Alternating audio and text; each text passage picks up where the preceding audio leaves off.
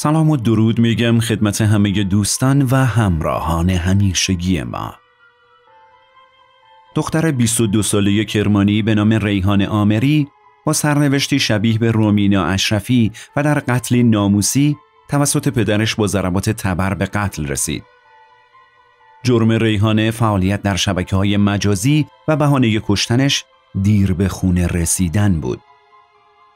البته ریحانه که توسط پدرش در کرمان با ضربات تبر کشته شد سه سال پیش هم تا حد مرگ پیش رفته بود. روز دوشنبه 26 خرداد ماه سال 1399 رفتن خواهر ریحان آمری به خونه پدریش در کرمان راز قتل دختر 22 ساله رو فاش کرد.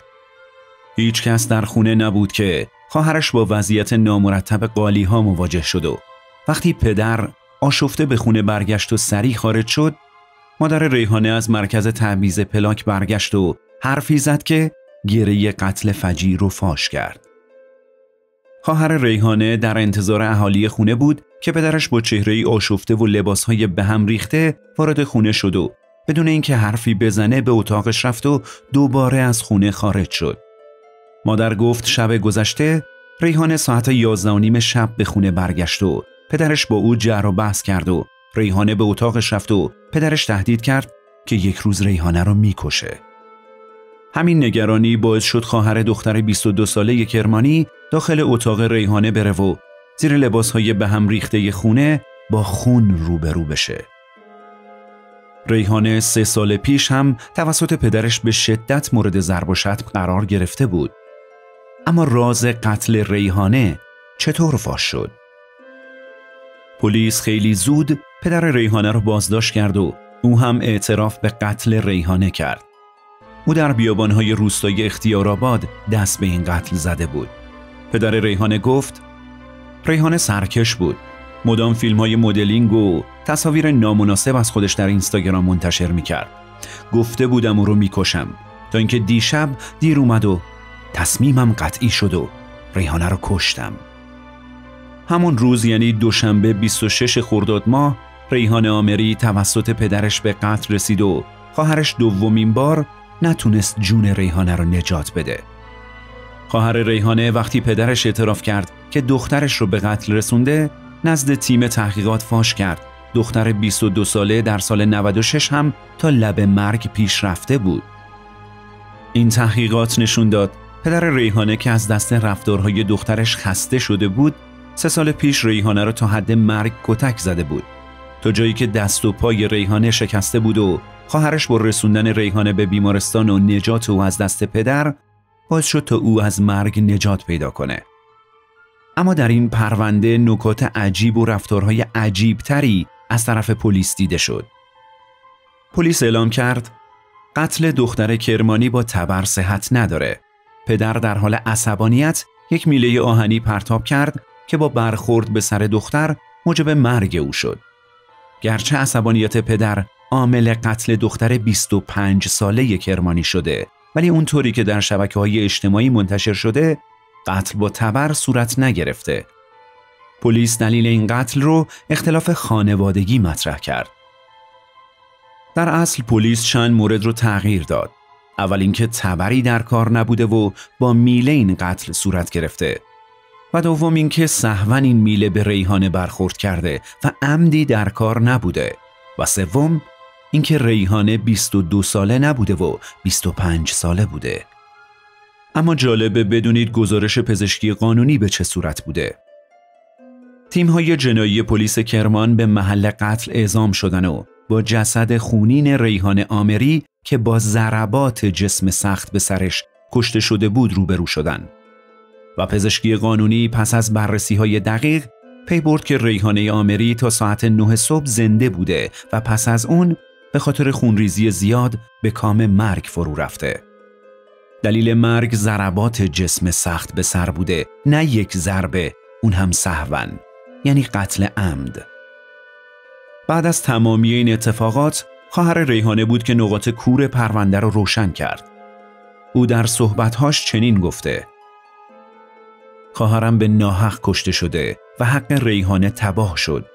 از خدا می‌خوام به ما صبر بده تا بتونیم با واقعیت ها رو در رو بشیم. در اصل ریحانه به خاطر رفتارهای پدرم کشته شد.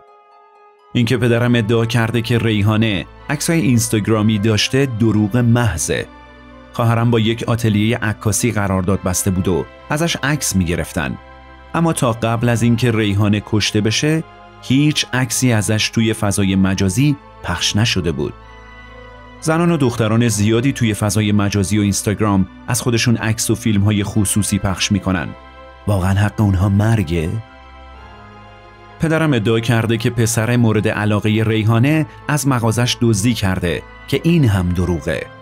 اصلا هیچ دزدی در کار نبوده و خواهرم به کسی علاقه نداشت. ریحانه از پدرم آتو داشت و پدرم می‌خواد با این حرفها خودشو تبرئه کنه. قتل ریحانه نه به خاطر دزدی بود و نه به خاطر مسائل ناموسی. ریحانه سر کار می‌رفت. توی کاشی فروشی در نزدیکی خونمون کار می‌کرد و پیاده به محل کارش می‌رفت. ریحانه ساعت هشت صبح به محل کارش می‌رفت و تا ساعت یک و به ظهر سر کار بود. بعد به خونه میومد و دوباره ساعت چهار و نیم به محل کارش برمیگشت و تا ساعت ده شب در اونجا مشغول بود. در حقیقت پدرمون هیچ پولی به ریحانه نمی‌داد و خواهرم برای خرجی خودش به سر کار می‌رفت. پدرم ادعا کرده که مادرم برای قتل تحریکش کرده ولی ماجرا اصلا اینجوری نیست. شب قبل از قتل ریحانه ساعت 11 شب به خونه میاد. اون کلید خونه رو نداشت و همیشه پدر و مادرم در رو برای اون باز می‌کردن. وقتی ریحانه وارد خونه میشه مادرم ازش می‌پرسه که چرا دیر اومدی و ریحانه به مادرم میگه که حسابم خورده با من کلکل نکنید. به کسی مربوط نیست و سپس به اتاق خوابش میره. همون شب مادرم به پدرم میگه اگر اون کار رو نکرده بودی می‌تونستی غیرت خودتو نشون بدی و به دیر اومدن ریحانه اعتراض کنی. که پدرم در اون صحنه به مادرم میگه می‌خوای ریحانه رو بکشم؟ مادرم میگه نه. شما پدر و دختر آخر سر منو سکته می‌دید. در مورد زمان قتل ریحانه هم دوستان ریحانه میگن اون تا ساعت هفت و چهل و پنج دقیقه صبح جواب پیام های اونها رو داده. و گویا ساعت هشت صبح زمانی که ریحانه قصد داشته به محل کارش بره توسط پدرم به قتل رسیده. جسد ریحانه وقتی پیدا شد لباس بیرون به تن داشت. ماجرای پیدا شدن جسد ریحانه هم به این صورت بود. چهلم همسرم بود و با دخترم سر خاک شوهرم رفتیم. و بعد از اون به خونه پدرم رفتیم. وقتی وارد خونه شدم پدرم در حال پوشیدن لباس برای رفتن به سر کار بود. روی مبل نشستم. دخترم به پدر بزرگش گفت که امروز چهلم پدرم بود چرا نیومدی؟ که در این صحنه پدرم سراسیمه از اتاق بیرون اومد و یه لنگه جوراب پاش بود که از خونه خارج شد و خدافزی کرد. روی مبل نشسته بودم دیدم که قالی های کف اتاق جابجا جا شده در اتاق ریحانه قفل بود و ظهر بود که مادرم به خونه برگشت و به پدرم زنگ زد که برای نهار غذا بگیره.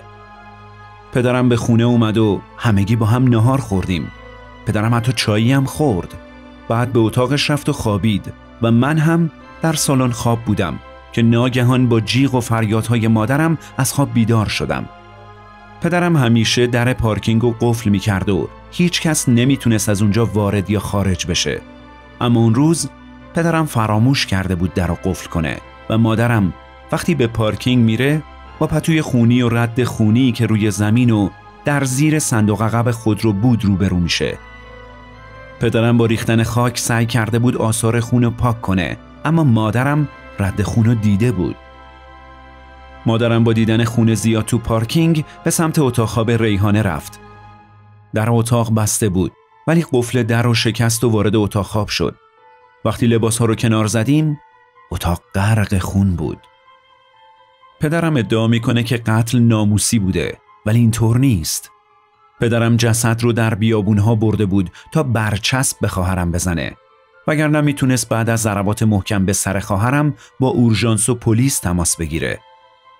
پدرم آدم خشنی بود. اون از بچگی رفتار خشن داشت.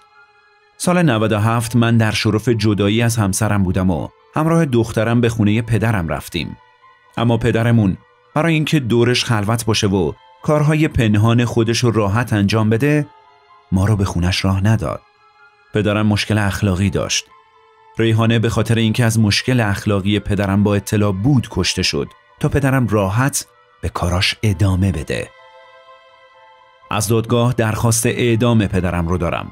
پدرم باید اعدام بشه، تیکه تیکه بشه و نباید زنده بمونه. چون خواهرم بیگناه بود و کشته شد. ریحانه تباه شد چون از پدرم آتو داشت. همین. بعد نیست بدونید در اسلام قتل فرزند توسط پدر حکم اعدام نداره و حکم اون بر اساس نظر قاضی سه تا ده سال زندان و پرداخت دیه است. حالا سوالی از شما دارم. به نظر شما آیا این حکم صحیح و انسانیه؟ پاسختون رو در کامنت ها بنویسید و برای حمایت از ما ویدیو رو لایک کنید. ما همیشه منتظر شنیدن نظرات خوب شما عزیزان هستیم. براتون آرزوی سلامتی و سربلندی رو دارم. پیروز و پایدار باشید.